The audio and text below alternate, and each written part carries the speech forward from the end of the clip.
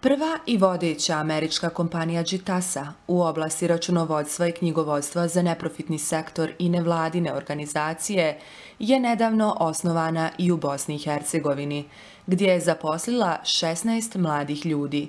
Svi oni, računajući i direktora, su mladi ljudi do 30 godina, koji ranije nisu imali iskustva u neprofitnoj ekonomiji se bavi neprofitnim računovodstvom i jedna je od najvećih i, prvih kompanija koja se bavi računovodstvom isključivo za neprofitne organizacije na prostorima Amerike. Sad svakako te organizacije imaju utjecaj širom svijeta, imaju svoje čaptere, podorganizacije, ali uglavnom svi klijenti se nalaze u Americi.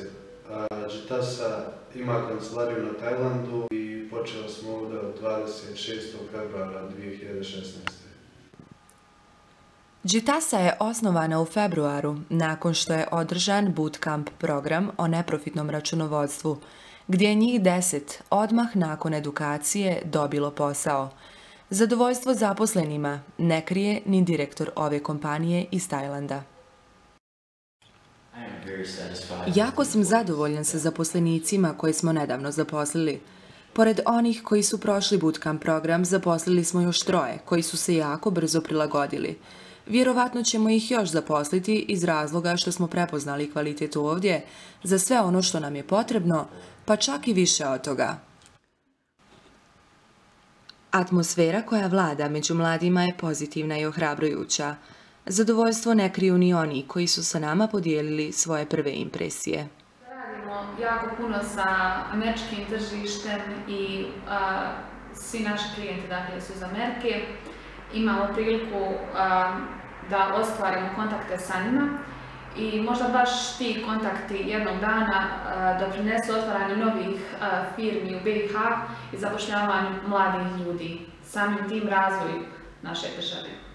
Nakon dva mjeseca možemo podijeliti neke prve impresije, svi smo zaista zadovoljni poslom, konstantno učimo, usavršavamo se, stičemo nova znanja i zaista svi ostali elementi koji čini naš posao su više nego zadovoljavajući.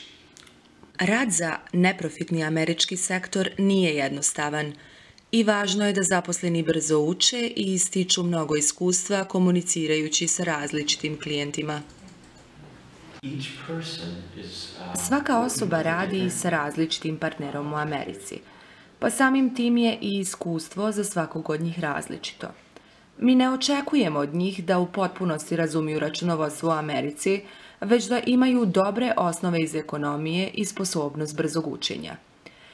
U ovoj oblasti, pa čak i u Americi, diplomci ne poznaju neprofitnu ekonomiju i moraju proći trening. Ovdje je ista situacija – Isto kao što smo ovdje, držimo treninge i u Americi, sve dok ne steknu osnove i za tri mjeseca su sposobni da rade za nas. Saznali smo da je jedan od velikih razloga zbog kojih je Gitasa osnovana u Bosni i Hercegovini visok procenat nezaposlenosti mladih, obrazovanih ljudi. Gitasa je prepoznala kvalitet, proaktivnost, i sposobnost mladih iz ove države, a mi se nadamo da će to prepoznati i druge kompanije.